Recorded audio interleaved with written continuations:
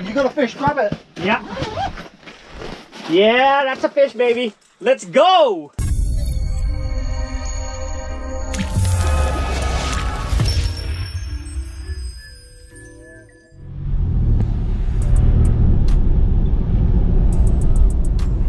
We are heading out for my first ice of 2021-2022 and it's March it's March 6th today. The 6th of March and I'm getting out ice fishing for the very first time. Yeah it's been pretty rough winter this year. Um, feels like all we've been doing here is shoveling snow. Like we've got the third worst winter for the past like 200 years or something like that here in Manitoba in terms of snowfall. And it's just been cold like the days of like minus 20 and colder has been the third most as well out of like 200 years or something like that. It's just been a crazy winter. So access to a lot of places for ice fishing has been fairly limited that was a main factor. Um, and it's not just me a lot of people haven't been going out either but uh, yeah anyways we are headed out to sandy bar today out by riverton here off of highway 8 and uh, this is one of my favorite favorite spots to ice fish in the winter. Shout out to the folks up here at riverton. They do a really great job um, maintaining the ice roads out here onto the lake and everything. I know they've had a huge challenge uh, plowing the ice roads up here uh, this winter. Just the amount of snow that's been dumped on us and the wind factor as well. Like it's been like crazy, just blizzards, 50 kilometer an hour winds. You plow the snow and then all of a sudden it all gets blown back over by the winds. It's just been insane, right? But uh, anyways, I'm meeting up with my buddy Danny here and then we're gonna head out onto the lake, get set up and hopefully get into some fish. We've got our catch and cook gear today, so hopefully when we get into fish, if we get into fish, we can do up a nice catch and cook for you guys. So stay tuned. About to pull up onto the parking area here. You can see, oh wow, it's nice and plowed right now. You can see the ice road out there. Looks like it's fairly decent. They haven't been able to get out too far this year due to the challenges I mentioned. But uh, look at this, they've done a great job, man. Shout out to the folks out here in Riverton, man. I'm actually gonna link their Facebook page for uh, Sandy Bar Ice Fishing Facebook page in the description below as well. Make sure you guys check them out. We don't stop, just keep driving. Just keep going? Yeah. Let's go, I'll follow you, man. Apparently it's been pretty bad if you get off of the ice road, uh, even like snowmobiles and stuff I've been getting stuck when they go off the trail. But uh, we're gonna follow the ice road here as far as we can, as far as they've got it anyways.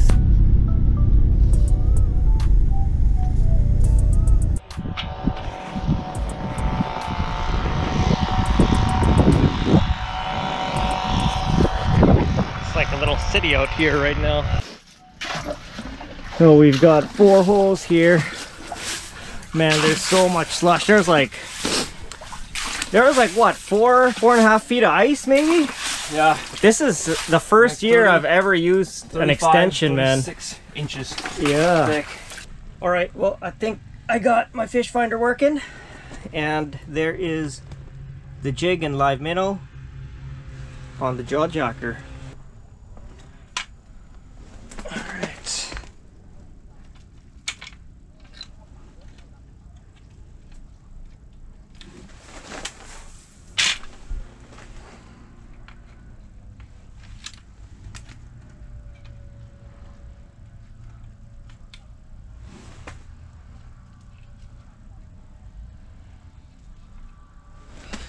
There we go.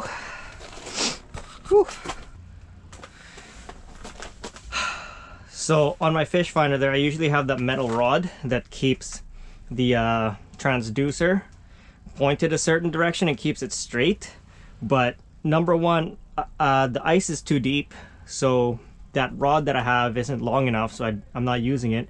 And number two, I forgot that rod at home. so I've got the transducer just sort of dangling right there inside the hole right now. I have no idea which way it's pointing. It seems like it's pointing in the right direction. I think it kind of picked up my lure when I dropped it in there just now. I think that's my lure right there. So We're in about eight feet of water here. Um, pretty shallow. We kind of want it to be in about 14-ish feet of water today, but uh, we couldn't get any further than this, eh? No. There's uh, the road just ended, and um, we're stuck here in uh, Tent City. Everybody's here. This is the farthest people can go right now, unless you're on tracks, pretty much. So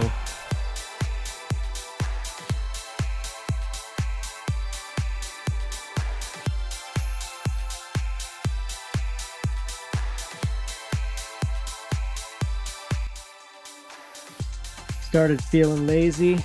Live minnow on the jaw jacker, live minnow on this rod here as well, and just letting it sit there dead stick. My wrist is tired of going like this, so I'm just letting that sit dead stick there with the live minnow. Not the uh, crazy first ice, first ice video that I wanted to debut with this winter, but uh, it is what it is, and that's fishing. Um, we've still got I don't know, it's, it's only 1040, so we still got a lot of time. Still got uh, the rest of the morning and the afternoon to go, so hopefully we at least catch, you know, one or two that we can at least cook up here and do a catch and cook. Many unbearable hours later. Well, we didn't catch nothing today. it was, I, I don't, I think it's just a bad day all around. Uh, we talked to a bunch of people around us over here. I think maybe like two groups caught one fish. Right. Everybody else hasn't caught nothing. Everybody's walking around talking to each other, asking if each other caught fish, and everyone's just been like, "Nope, haven't caught nothing. Haven't caught nothing."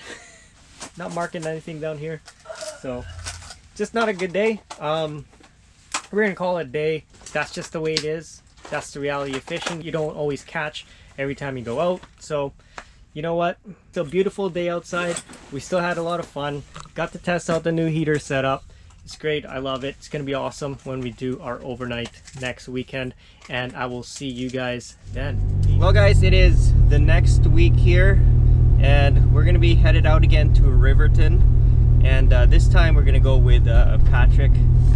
And I think his wife and his uh, sister-in-law is coming as well with him. But yesterday and the day before have been like crazy blowing winds again and people on the facebook group for this place have uh, been saying that uh, the ice roads have been drifted in again and our chances of being able to drive out further are probably worse compared to last time. So we might just end up walking out onto the ice and uh, probably just fishing the shallows a bit and see if we can get to anything in the shallows but I mean I can only get out once a week so to not go again just because uh, just the ice roads have been drifted in I just gotta go.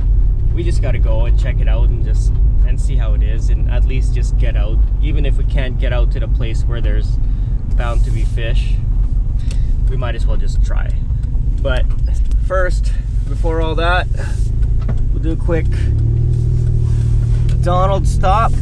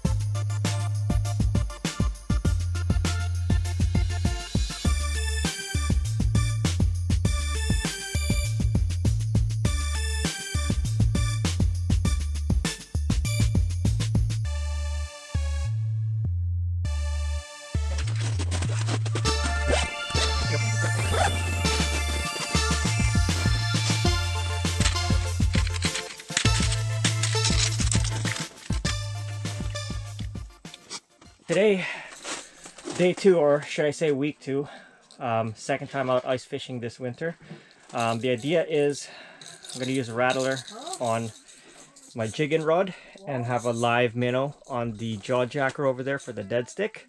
And um, like this area is all like flats. It's all just like uh, it's like a sandbar. It's all just like flat bottom. So it's all about the same depth. There's not really any structure or anything like that out here.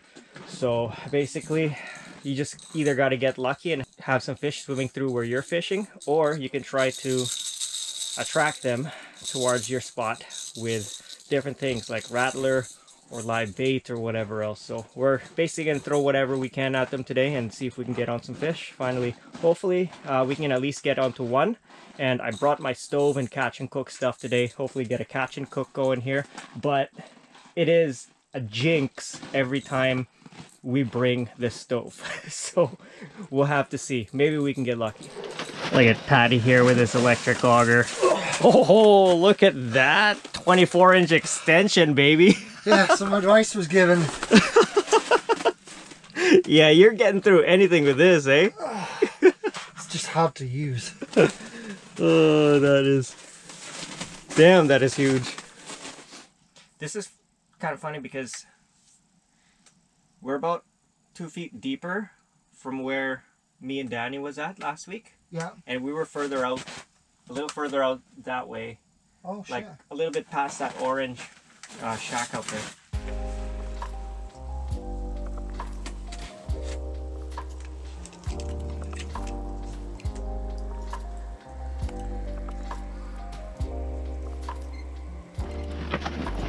Looks like the girl's got a bite over there.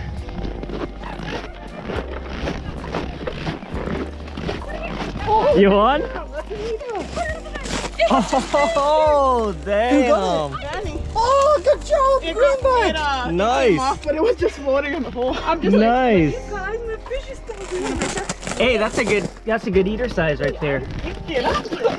Good job! Good job. We picked the wrong spot. huh? Oh yeah, don't worry, I'll keep that. Oh, that's a that's a good keeper. No, get my That is a good keeper.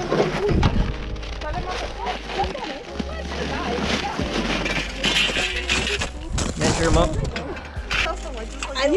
Oh yeah, it's like 17 and a half. Yeah, good job! Very good. My balls haven't dropped.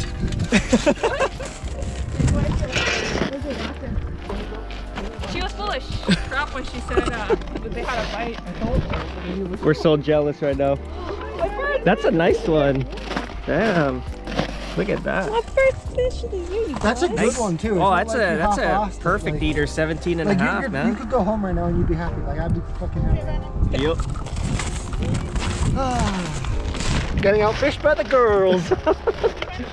That's the way she goes. this jaw jacker just popped. Patty's out. Oh, there is something on there. Nice. well, I guess this counts as my fish. Oh, shit. Yeah. On, on Patty's jaw jacker. Oh, it's a burbot too! Woo! Yeah! Oh man, he left at the wrong time. On oh, Pat, Pat, Patrick's jaw jacker right there. It popped out. I was like, oh shit! And he just took off. No way. He just took off. That is Yes. that's so cool.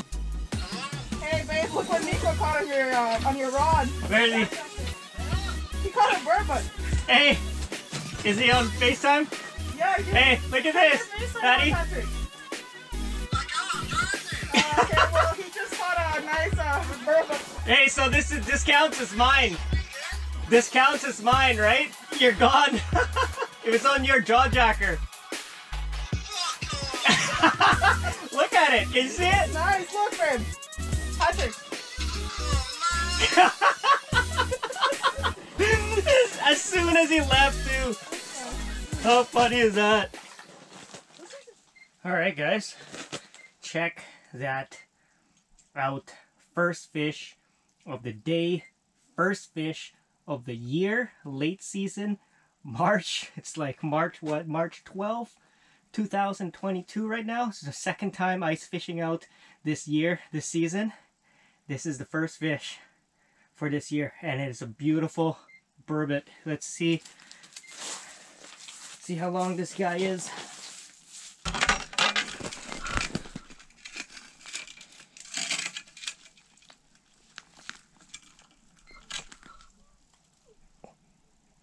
He's almost 20, almost 20 inches. It's like 19 and three quarters, almost 20 inches. Perfect little eater size burbot right there. Yes! Finally caught my first fish of the year, man. And it's a burbot too. How awesome is that? So now, girls tent, one, one walleye, and then boys tent, one burbot. Yeah, it wasn't on my uh, it wasn't on my jaw jacker. It was on Patty's jaw jacker. But he took off to go use the washroom down by the beach over there, and literally as soon as as soon as his car hit the ice road, his jaw jacker goes pop. Anyways, I'm the one that reeled it up, so that counts as my fish. Let's go. We're gonna cook this burbot up in a little bit here too, guys. So stay tuned. So, Well, welcome back. I'm so mad right now. as soon as your as soon as your car hit the ice road, your jaw jacker went pop. And I was and It I was, over bouncing? there. It, it wasn't bouncing, so I was like I was like, did something just swim by and hit the line or something? And I'm checking my jaw jacker for my bait. So I took my time with checking my jaw jacker, and then I was like, yeah, you know what? I might as well just check it, see if it, you know, I'll, at least I'll reset your jaw jacker, right? And I started reeling it up, and it was heavy, and I'm like, oh shit, it's a fucking fish, it's a fish. Shit. And I realized why it wasn't. Whoa. I realized why it wasn't uh, bending. You have your spool off. It wasn't locked, so it was pulling line. Yeah. So, uh, The spool wasn't closed? no, it was. Uh, he swallowed it pretty good, Oh, so I had to uh, surgically remove the uh, the lure in there. Hook's a little bent, but I saved the lure. okay. Just got to rebend the hook, but it did come off of your uh, your line there. And you want to cook them up or what? You want to cook him now? Maybe cook them up in a little bit. Yeah, we can cook him. Definitely cook them up and, and eat them before we leave here. That's for sure. don't know if they're butter though. That's all right. Oh, I got okay. oil. Okay. Good enough. Yeah, we'll cook him. All right, let's go. Burbot catch and cook, baby. Ah, right. Two minutes to use the bathroom. And you lose out on a good fish, man. Ah, dear me. Hey, the good news is they're here. And they're biting. Yeah, it's gonna be good. We're gonna cook up this burbot later on. Ah, not right now. We'll do a little bit more fish and then we'll uh, fire up the stove and then cook up this burbot and get to eat it, man. I'm hungry. Let's go. Yo, my jaw jacker just popped here too. Oh, you got a fish. Grab it. Yeah. Yeah, that's a fish, baby. Let's go. Oh, another bird. Oh, ah, bad news, guys. Number one, that video cut out, but what happened was I lost the fish at the hole. It fell off of the hook right there at the hole. I tried to grab it. My whole left arm is wet. I went up elbow deep, but it's slimy. It was a burbot, and it swam right through and back down the hole. Ah, would have been two, two burbots would have been nice for a catch and cook, but I lost that one. And uh, SD card error on the GoPro here too, and it cut out the rest of the footage for some reason, except for that beginning part. Anyways, all right, guys. Time to prep up this burbot now. Uh, first thing we're gonna do is remove his skin. So that's what these pliers are for. They're super slimy. So what we're gonna do is we're just gonna make an incision sort of on the back here. Cut all the way around like this.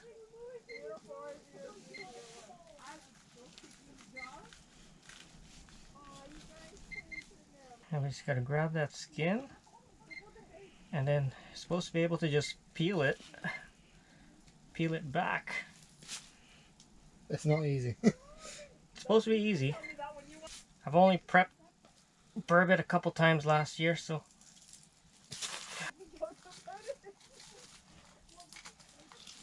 well, there you go.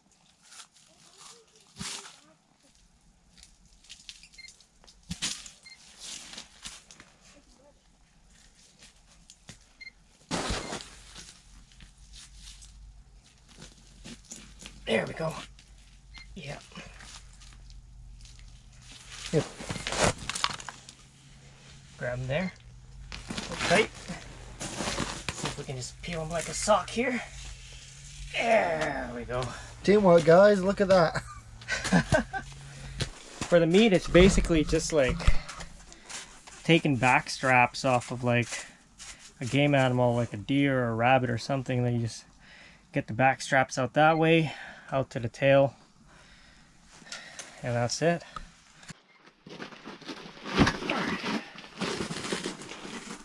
So let's grab this back straps.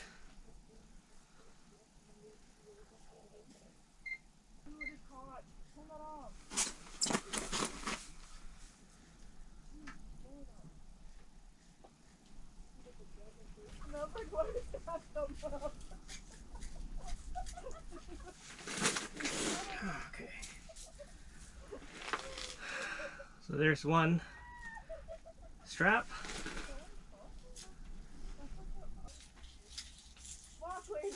You share rotten beans, man.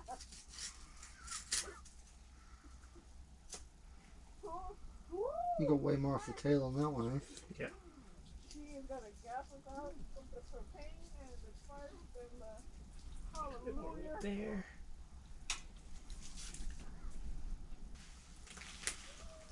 There we go. There we go. There's our couple of uh, burbot straps there. I'm gonna chop them up and then cook them on the stove.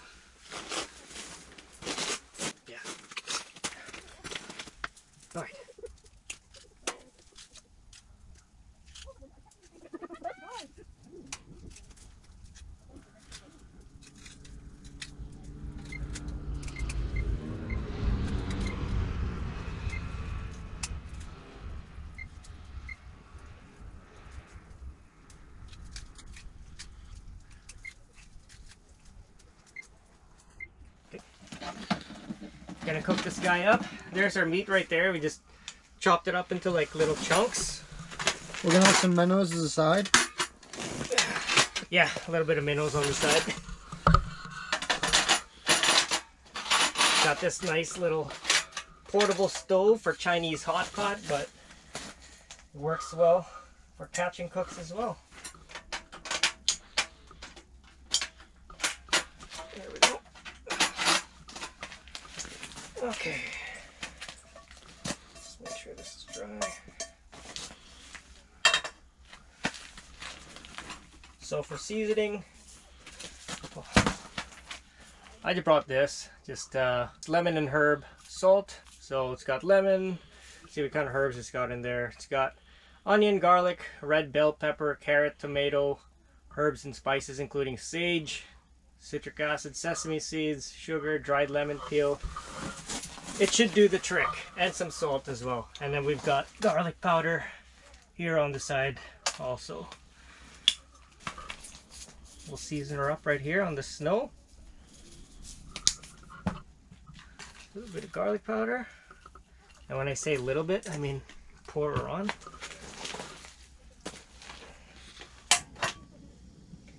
Get that pan going.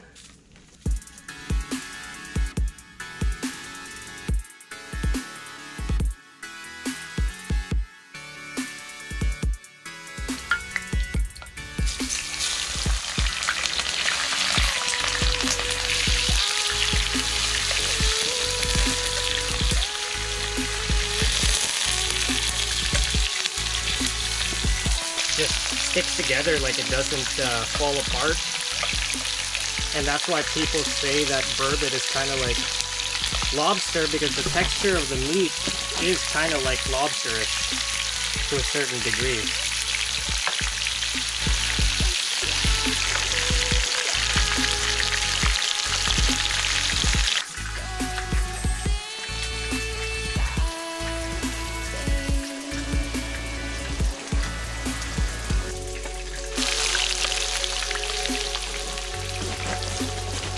That's actually probably pretty cooked right there already. I'm pretty sure it is. I can probably turn off the stove right there.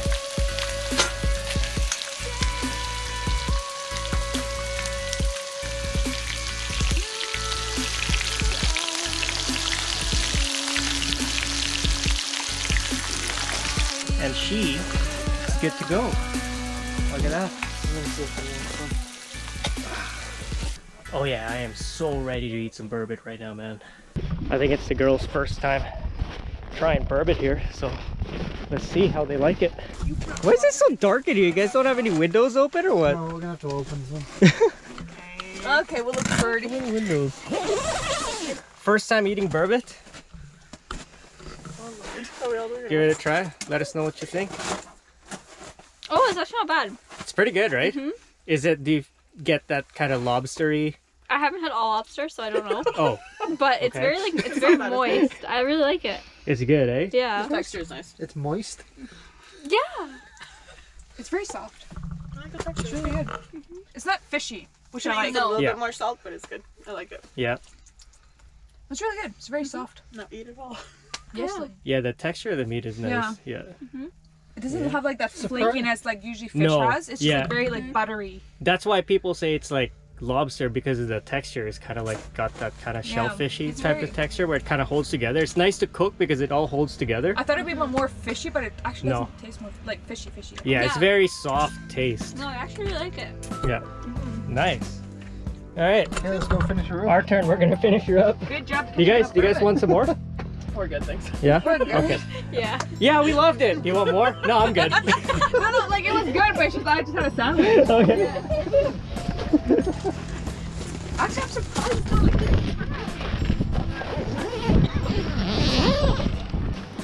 Well, looks like they like the burbot there. So that's good.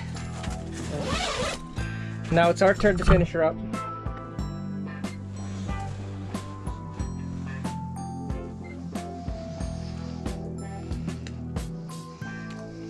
She's good. You're very good. Let's get this nice Go. big chunk right there. You go very cold quick though. I got cold because it's sitting on the ice. Maybe I'll take the pan off the ice. Mm. There we go. Cheers. Cheers.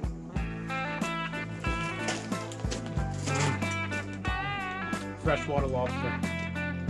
Very good. Kind of over walleye. I I am not gonna lie, ma'am. I like burbot better than walleye. Yeah. I love how there's like no bones, like you don't have to worry about bones getting stuck in your throat.